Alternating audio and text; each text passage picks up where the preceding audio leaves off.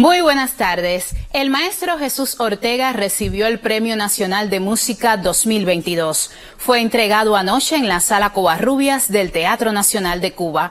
Según la publicación del Instituto Cubano de la Música, en la ceremonia, Ortega recibió el galardón de manos del viceministro de Cultura Fernando Jacomino y la presidenta de esa institución, Indira Fajardo. En la ocasión, la Premio Nacional de Artes Plásticas 2022, Flora Fon, hizo entrega de una de sus piezas al maestro, quien tuvo además el reconocimiento del Teatro Nacional de Cuba. La ceremonia de entrega se realizó durante el concierto dedicado por la Orquesta Sinfónica a los 50 años de la nueva trova.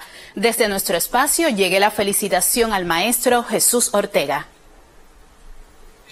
Conciertos y fiestas populares conforman la jornada cultural para festejar el año nuevo y con ello el aniversario del triunfo de la revolución este primero de enero.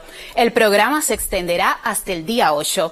Prensa Latina indica que la propuesta incluye presentaciones de artistas y agrupaciones de la música popular bailable cubana.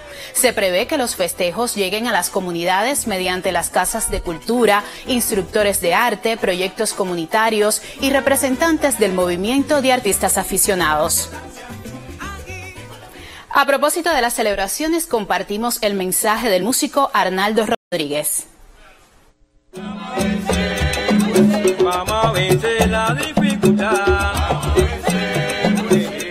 En un año de complejos desafíos, el pueblo de Cuba una vez más sale victorioso y enfrenta un nuevo año 2023 con toda la energía y con toda la lucecita encendida.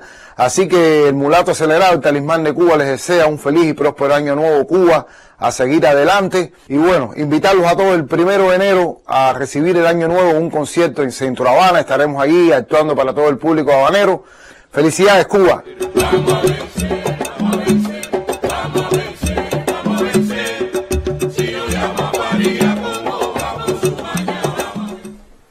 Con motivo del aniversario del triunfo de la Revolución, el Ballet Nacional de Cuba presentará este primero de enero en el Teatro Nacional la gala La Magia de la Danza. La apuesta recoge importantes momentos del arte coreográfico del siglo XX en versiones que muestran respeto a la tradición y creatividad de la Escuela Cubana de Ballet.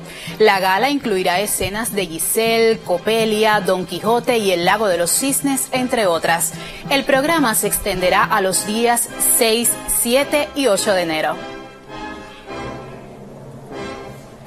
Como parte del homenaje a Aide Santa María en su centenario, tuvo lugar en el municipio de Encrucijada, Villa Clara, la trovada poética Una casa en mi canción. En un escenario histórico y familiar frente al Museo Casa Natal Abel Santa María en Encrucijada, se efectuó el concierto Una casa en mi canción, trovada poética que caló profundamente recordando la figura de Aide Santa María en su centenario.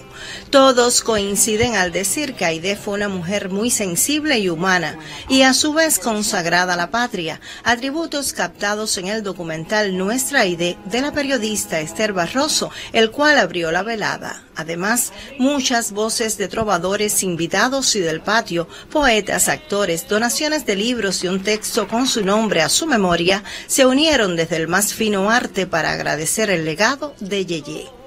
Todos los que pasaron hoy acá hablaron con un sentir muy bonito de ella.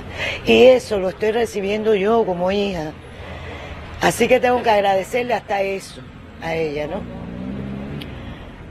Ella está presente porque ellos lo demostraron, porque fue una fiesta para ellos celebrarlos.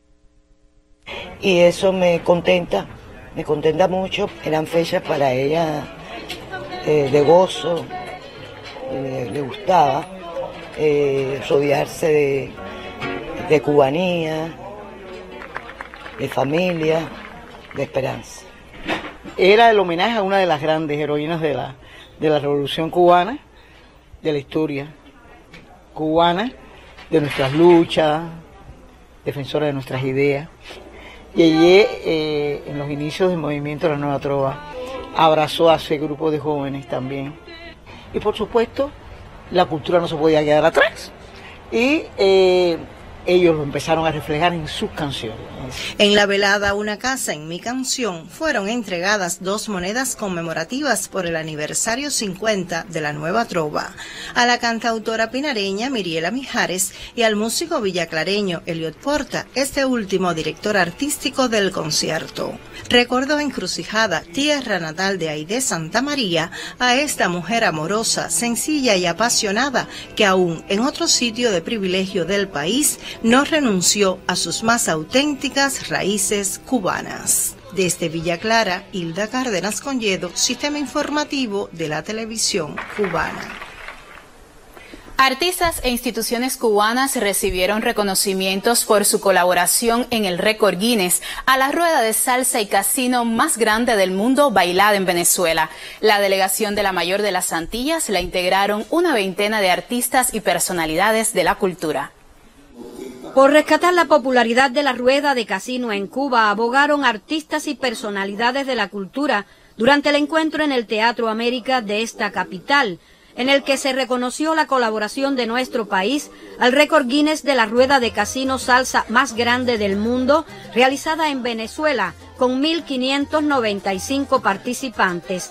Según reportes de Telesur, los bailarines venezolanos superaron el récord que impuso España en 2019 con 1.291 participantes.